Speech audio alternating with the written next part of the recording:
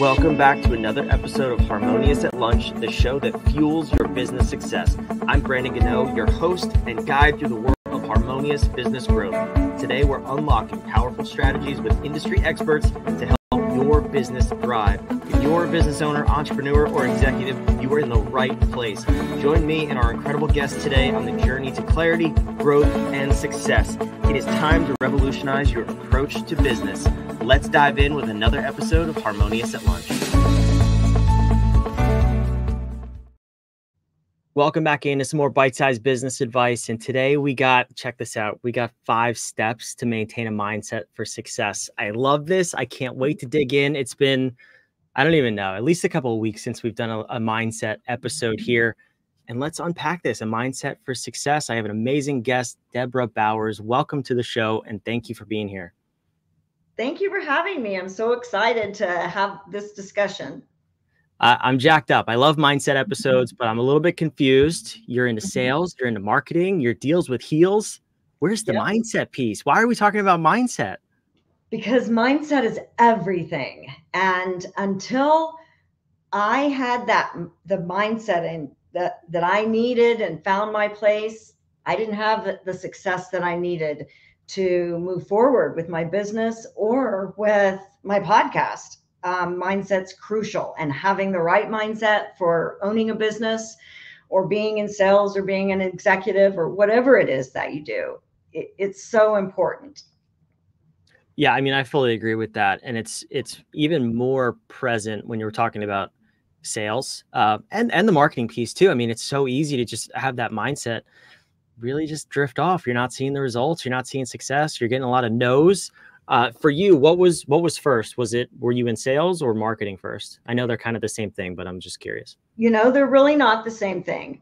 Uh, well, actually, I think everything is um, is about sales. Every ounce of marketing is about sales because we're doing it for one reason, and there's a lot of reasons why businesses go out of business if you don't hire the right accountant we, are you going to go out of well you might go out of business. What about if you make the wrong content? You might go out of business. You know if you uh, form it wrong if you hire the wrong attorney if you hire the wrong personnel all of those things can make can make you go out of business. If you don't sell your products and services you're absolutely going out of your business. Uh, it, it, it just it's essential and we lose track of that.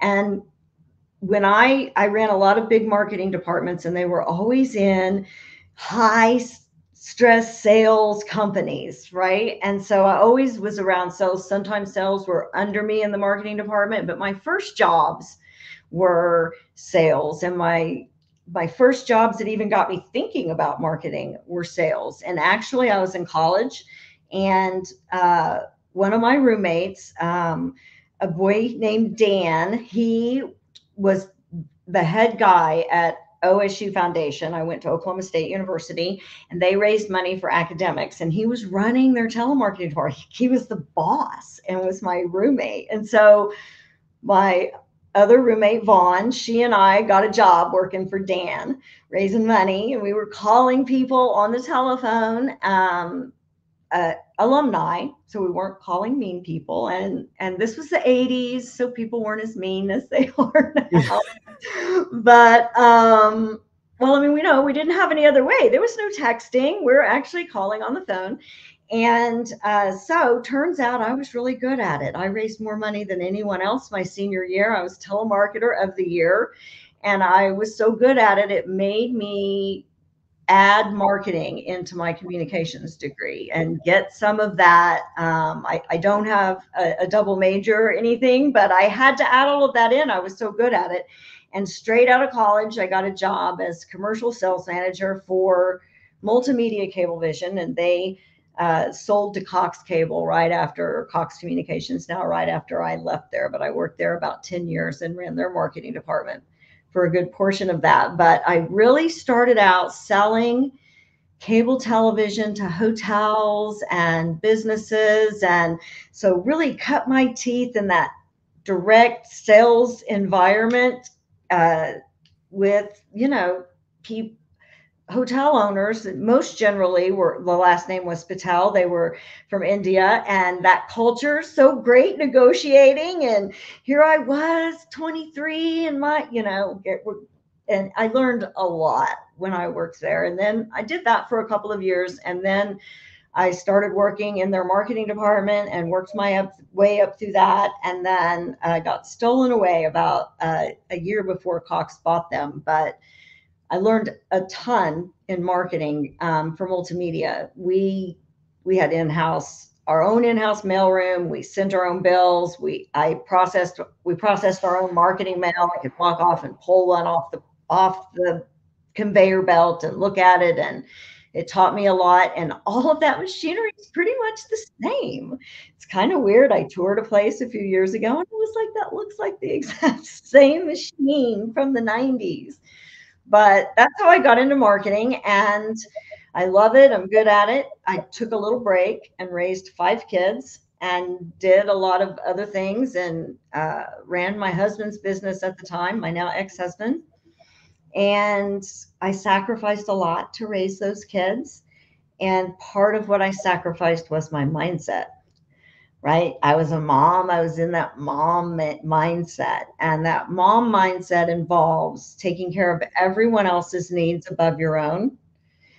It, it, it doesn't, if your kid needs something, it doesn't matter if you need something too. They come first. And and you get used to doing that and then it comes time to be yourself again and i had no idea who that person was and so that was a difficult time. My marriage fell apart uh, in 2020. And I was really close to my mom.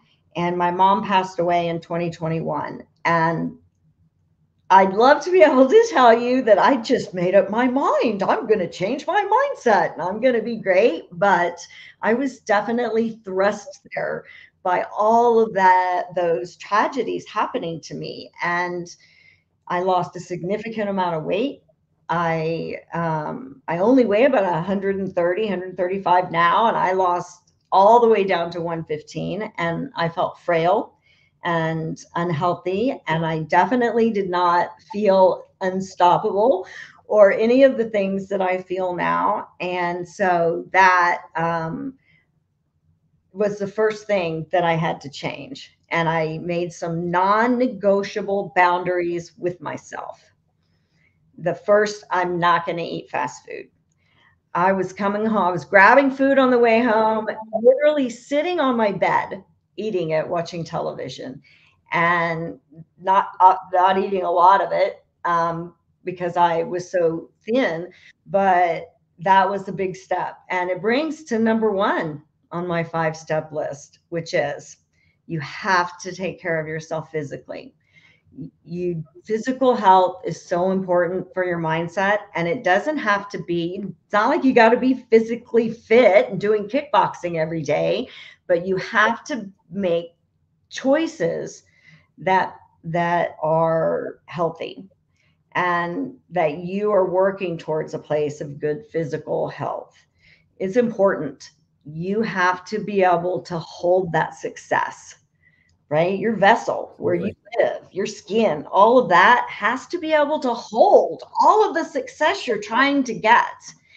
And if you're not prepared for it, it's going to be really hard for you to hold it. it. It'll be overwhelming. It'll be success is hard too, right? It's hard to manage it. It's hard to make those choices. And it it's important to be in a mindset of I take care of myself. I don't do unhealthy things. I don't self sabotage myself with alcohol so that I can't do what I need to do the next day. Those types of behaviors are, you just can't succeed with those. And so it's really an important step in becoming physically fit and having that mindset. For me, I was an athlete growing up. And so, and I mean, I played basketball until my early 30s. And so it, it was, I didn't feel like myself, right? I felt frail and weak and I never felt like that my whole life. And so it was a big step. My my next step was I'm only going to be in my bedroom for two reasons. I'm not going to sit on my bed and eat in my bedroom, and I'm not going to uh, spend my life in there. And so if I'm out, I've got a kind of open area, living room, kitchen, then I'm going to be much more apt to cook. I'm a great cook. And so I wasn't even doing that. And so I did that. And I will say it's been two and a half years, and I have eaten fast food less than five times. So it, I can't really even eat it now, but I am a sucker for Freddy's. Yeah, it's a, uh, uh, oh, I probably, I bet all five were probably Freddy's when I ate that. so that was definitely my first steps and exercising. Um, even if it's just somatic exercises and just moving your arms and stretching and those little things, it makes a difference. Uh, they've proven that your muscles actually secrete hormones and chemicals when you move them and you use them. And those things help your brain and help your brain be happy and gives you, uh, makes it healthy, your brain healthy. So just using them a little bit, especially if you haven't been using them. And getting outside. Pretty much all Americans are low in vitamin D and it, it's really important we're meant to be outside. We're not meant to sit inside all the time. And that makes us uh, really susceptible to all kinds of different diseases especially autoimmune diseases when we're critically low in vitamin d. And so you can get a ton of it just by going outside without sunscreen for 10 minutes. But so all of those things making those kinds of healthy choices for your for your physical health is really the first step and and once you start doing it take one at a time. Nobody needs to be jumping in and working out so hard you can't walk the next day because you're sore. We've all been guilty of that. But um, it's not necessary small steps choices the choice making the choice is what's important to your mindset. So that's definitely number one. Yeah that one's it's so so crucial and i think it's most often overlooked because we're busy or or whatever we have going on and we can't prioritize it. But i've seen uh, firsthand at multiple points in my life the lack of physical health will will prevent you from doing anything. And if you don't have it if you don't prioritize it the other side of that too is like if you don't have that discipline with yourself to take care of yourself like you were saying mm-hmm. i mean you don't you don't have the discipline to, to effectively run a business and to lead people. That's what you're communicating to other people. When you don't take care of yourself and you don't have that discipline and maybe i'm a little hard on this but i just hold myself to a higher standard and it sounds like debra you do too. But I, I look at people who don't take care of themselves and i know i can't fully trust them. And that's a big statement but i'm willing to make it because i've seen it hold true over and over. It, it definitely if you can't control what you put in your body right what can you control yeah I mean, that's the essential thing. I mean, I have very little control over the world. And and I'm okay with that. The world can do whatever it wants. I'm going to be like this no matter what. That's so I I listen to a lot of Sadhguru and I love he's very this is me. And I'm not giving that power away to so that you can make me feel uncomfortable, but you know, they the food, processed food in the United States has no nutrients and so you're still hungry when you eat it. As a result, our digestive tract is always full. And because of that, our body can't do anything else but digest. And you're still hungry because there's no nutrients. They eat more processed food. So it I've been down that rabbit hole and it will do nothing but piss you off to go there about how much I mean the food pyramid, the food pyramid propaganda for the agricultural industry. And so that should tell you everything you need to know about the choices and the recommendations um, by our government for what we should eat. So yeah, that is quite the rabbit hole. I've been down that one myself. Not, oh, yeah, not just, exactly what this episode is dedicated no, for. We not. should do an Another episode on day. that because that more people um, need to hear that. And um, really, no. the the second step, and this is really key to being disciplined. And discipline discipline wins the day no matter what the race is. And you can't only work when you're motivated. You can't only sell when you're motivated. You can't only exercise when you're motivated because no one's motivated every day. And you can't count on that. And to say I'm going to be motivated every day, it, it it's ridiculous, right? You it, you can never be that. You're setting yourself up to fail. Discipline is what wins. It always does.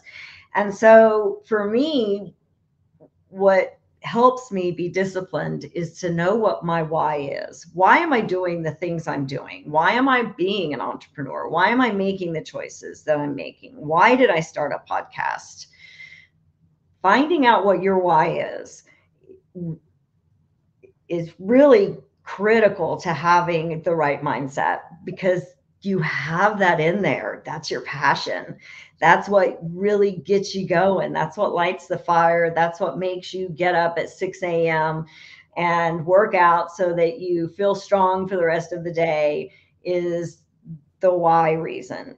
And it's never to make money. Let me just say that up front. Your why is not to make money. And I mean, I lived it right. I raised five kids. I I had to make money. They're expensive, and so a lot of what I did during that time frame was what was necessary. And so your why it doesn't come from a place of lack and a place of need. It comes from desire and you're willing where you feel compelled to give back the problems you even if you're selling something what problem are you solving are you passionate about it and so finding that's really important. Um, I wish it were easy to find it, right? I, that gosh, if we would be rich if we could figure that out. Um, how simple it is.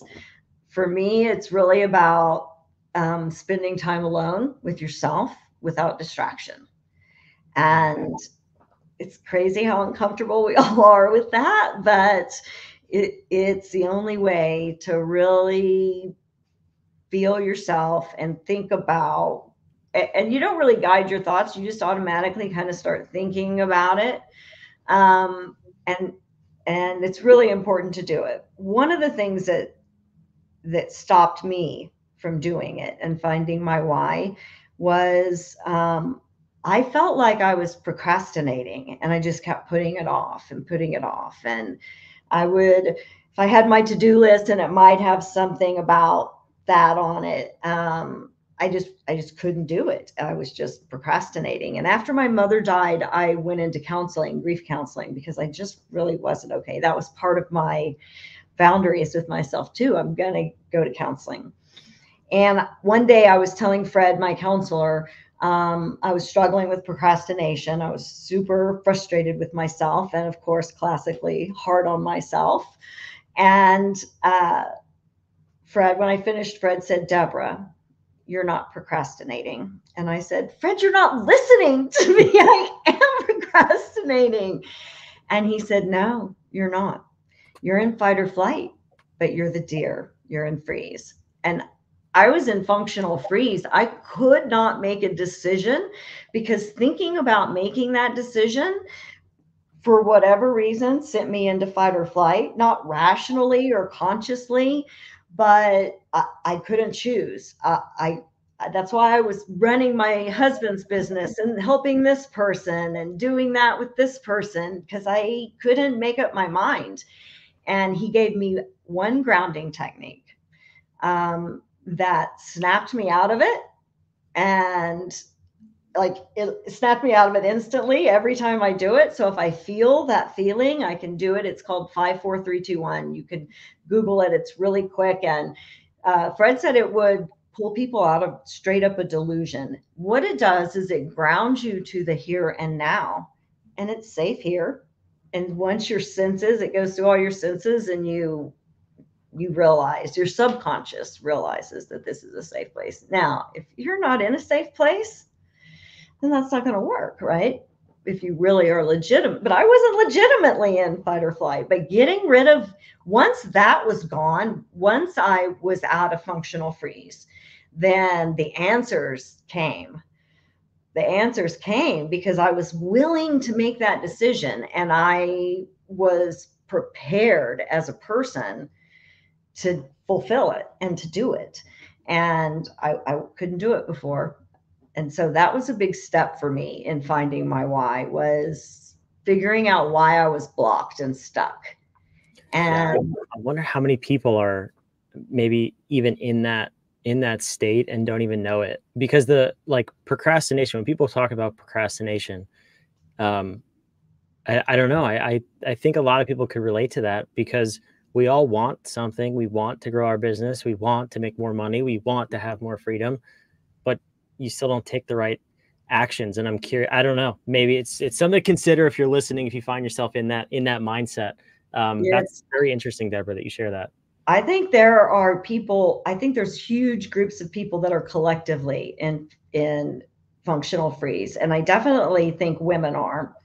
Um, just lost without direction. We've been suppressed for so long. We're scared to take a step. We're automatically go into functional freeze. And I think that was part of me too, was being so conditioned that I shouldn't do it or we can't do it. Or do you realize that a woman could not get a business loan without a male co-signer until 1988. I was in college. Didn't know that. It, it, it, you know, we've really been conditioned and told that we couldn't, shouldn't, all of those things. And so it eventually you listen and and you become gun shy about trying it and are subconscious. Um, and all of that DNA memory, right? They've proven PTSD and uh, causes DNA changes that you pass down in your through generations. And so it builds up. People don't know why they're so pissed. They just know that they are. And so um, it's important to do that. And, and I know people are struggling with struggling with procrastination, but there's a difference. There's a difference between I'll do that tomorrow and yeah, I ain't doing that yeah, no, there's a there's a huge difference. It's uh yeah, definitely an interesting interesting thing to analyze whether you're wherever you're hearing this from. Um take a take a minute and think about that. But Debra, I mean this was this was awesome. I appreciate the mindset tips. We got through two of five. and we're out of time. But I'm sure that you have done an episode or two on this on your podcast. So let me toss your website on the screen. Uh, where should the listeners go and, and hear more about you and what you have to offer? Um, I would love for them to check out my podcast, and you can link to all of the episodes at dealswithheels.com. And you can link to find out more information about me and link to my pod, my website as well. Uh, we talk a lot about mindset and sales and marketing, which is my expertise, and entrepreneurism and women empowerment and all of those issues. We're in the middle of season two, and I would love for everyone to check it out. That's so awesome. Um, I was trying to check it out before, but it seems like it's just for women. So I, I wasn't able to listen. But you know, over half of our viewers on YouTube are men. Really? That's interesting. I know. I found it really interesting too, especially as a marketing person. But we do have a lot of great information. It's delivered by women. And yeah. so, it, and it's focused on women. Um, so we, but, but most of it is good for any gender. It, it's not like it only works for women. It, it's just, it's focused on women and, and the materials delivered by women. No, but... I love it. I think that's awesome. I was I was scrolling through your episodes before, as a matter of fact, and I think I saw at least three episodes uh, with former guests of this show too. So oh, I can attest Debra has great guests on the show. um, but yes, right? please go check that out. Yep, we uh we had a guest on that. We have a lot of great marketing guests um, on, and so I find those really helpful. Even though I'm a marketing expert, I learn stuff so much from guests on my program and being on other programs. So um, I really love it. That's awesome. Debra, I can't thank you enough for being here, sharing your wisdom. Uh, for you listening, wherever you are watching or listening, dealswithheels.com, down in the show notes, uh, all of Debra's other links too. So you can go follow her social media, check out her other websites. And I hope you go check out the podcast to get those last three tips for mindset. It's just such a cliffhanger. Maybe we'll do a part two. We're definitely go over there first. I'm down for a part two. So I love it. That's so awesome. Thanks for being here, Debra. Hey, thanks for having me. I had a great time. And for the audience, again, wherever you're watching or listening, go subscribe. We love putting these episodes out every single day of the week. We're a little bit crazy, but crazy about your success. And we want you to build a harmonious business and life. We'll see you on the next episode.